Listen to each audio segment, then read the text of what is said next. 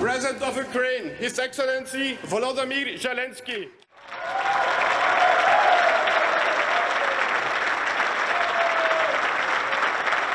Sous les applaudissements, le président ukrainien Zelensky est accueilli en grande pompe au Parlement européen.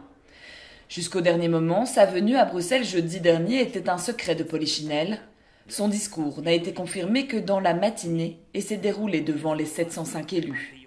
Vêtu d'un sobre pull noir, un logo aux couleurs de son pays, Zelensky défend les valeurs et le mode de vie des Ukrainiens et des Européens.